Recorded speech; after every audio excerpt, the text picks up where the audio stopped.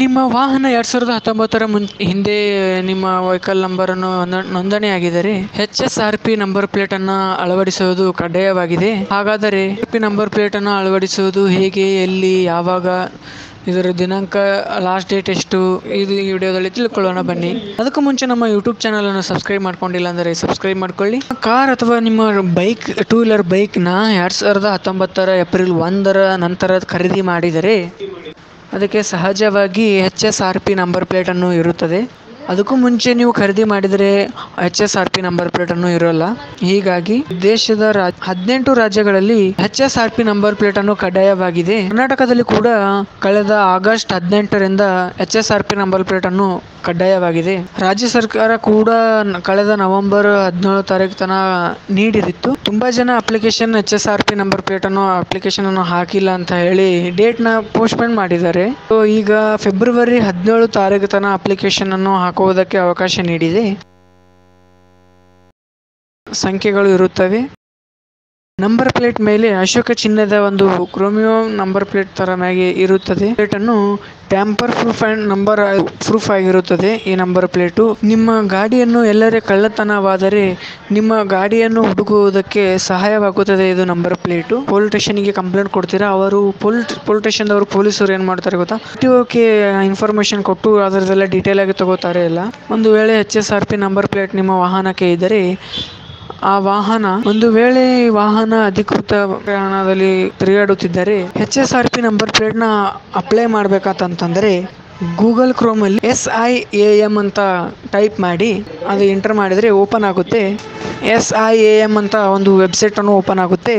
ಆ ವೆಬ್ಸೈಟ್ನಲ್ಲಿ book H S R P ಅಂತ ಒಂದು ಇರುತ್ತೆ. ಆಗ ಎಚ್ ಎಸ್ ಆರ್ ಪಿ ಅಂತ ರಿಜಿಸ್ಟ್ರೇಷನ್ ಅಂತ ಒಂದು ಓಪನ್ ಆಗುತ್ತೆ, ಒಂದು ಪೇಜ್ ಓಪನ್ ಆಗುತ್ತೆ. ಆ ಪೇಜ್ನಲ್ಲಿ ಇಲ್ಲಿ H S R P registration ಅಂತ ಒಂದು ಪೇಜ್ ಓಪನ್ ಆಗುತ್ತದೆ. ಅಲ್ಲಿ ವೆಹಿಕಲ್ ಓನರ್ನನ್ನು ಹೆಸರು ಅಲ್ಲಿ ಎಂಟರ್ ಮಾಡಬೇಕು. ಹಾಗೆ ಅದೇ ಎಲ್ಲ ಹಾಕಿ ನಂತರ ಅಲ್ಲಿ ಸಬ್ಮಿಟ್ ಮಾಡಬೇಕಾಗುತ್ತೆ. ನೆಕ್ಸ್ಟ್ ಪೇಜ್ ಓಪನ್ ಆಗುತ್ತೆ. ಅಲ್ಲಿ ನಿಮ್ಮ ಸ್ಟೇಟ್ ಅನ್ನು ಡಿಸ್ಟಿಕ್ ಅನ್ನು ಕೊಟ್ಟಿರ್ತಾರೆ. ಇಲ್ಲಿ ಸ್ಟೇಟ್ ಮಾತ್ರ ಅಲ್ಲಿ ಕರ್ನಾಟಕ ಕೊಟ್ಟಿದ್ದಾರೆ, ತಳಗ ಡಿಸ್ಟಿಕ್ ಬಾಜು ಕೋಲಾರ ಅಂತ ಕೊಟ್ಟಿರುತ್ತಾರೆ.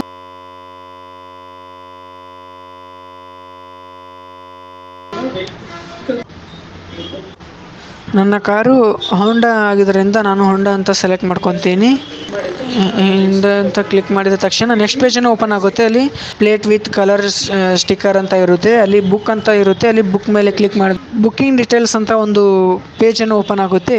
ಅಲ್ಲಿ ಬುಕ್ಕಿಂಗ್ ಡೀಟೇಲ್ಸಲ್ಲಿ ಓಪನ್ ಮಾಡಿದ ತಕ್ಷಣ ಅಲ್ಲಿ ಅದು ಅಂದ್ರೆ ಯಾವ ಕಾ ಎಲ್ಲಿದೆ ಕಾರ್ ಅಂತ ಹೇಳ್ಕಂದ್ರೆ ಅದ್ರ ಸ್ಟೇಟ್ ಅಂತ ಇರುತ್ತೆ ಕರ್ನಾಟಕ. ಆಮೇಲೆ ಕ್ಯಾಪ್ಚರ್ ಅಂತ ಇರುತ್ತೆ ಕೆಳಗಡೆ ಕ್ಯಾಪ್ಚರ್ ಅನ್ನು ಈಚೆಗಡೆ ಏನು ಟೈಪ್ ಮಾಡಿದ ತಕ್ಷಣ ಅಲ್ಲಿ ಕ್ಲಿಕ್ ಹೇರ್ ಅಂತ ಇರುತ್ತೆ. ಅಲ್ಲಿ ಕ್ಲಿಕ್ ಮೇಲೆ ಕ್ಲಿಕ್ ಮಾಡಬೇಕು. ಈ ಓನರ್ ನೇಮ್ ಮತ್ತು ಇಮೇಲ್ ಐ ಡಿ ಕೆಳಗಡೆ ಇರುತ್ತೆ. ತ- ಕೆಳಗಡೆ ಇಮೇಲ್ ಐ ಡಿ ಅದೇ ರೀತಿ ಮತ್ತೆ ಕೆಳಗಡೆ ಬಾಜು ಮೊಬೈಲ್ ನಂಬರ್ ಇರುತ್ತೆ. ಮೊಬೈಲ್ ನಂಬರ್ ಕೂಡ ಹಾಕಬೇಕು.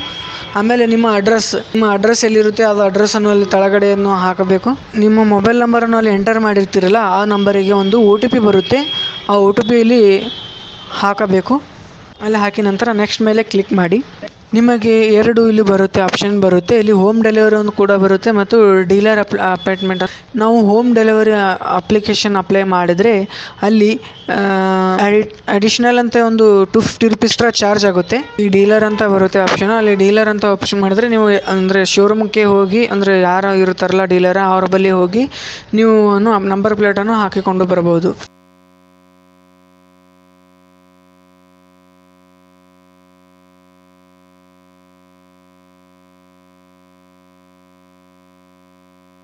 ಸೆವೆನ್ ಸೆವೆಂಟಿ ಏಟ್ ರುಪೀಸ್ ತೋರಿಸ್ತಾ ಇದೆ ಇಲ್ಲಿ. ಸೊ ಇದನ್ನ ಸೆಲೆಕ್ಟ್ ಮಾಡಿಕೊಂಡು ಅಲ್ಲಿ ಕನ್ಫರ್ಮ್ ಡೀಲರ್ ಅಂತ ಇರುತ್ತೆ. ಆ ಕನ್ಫರ್ಮ್ ಡೀಲರ್ ಅನ್ನು ಕ್ಲಿಕ್ ಮಾಡಬೇಕು.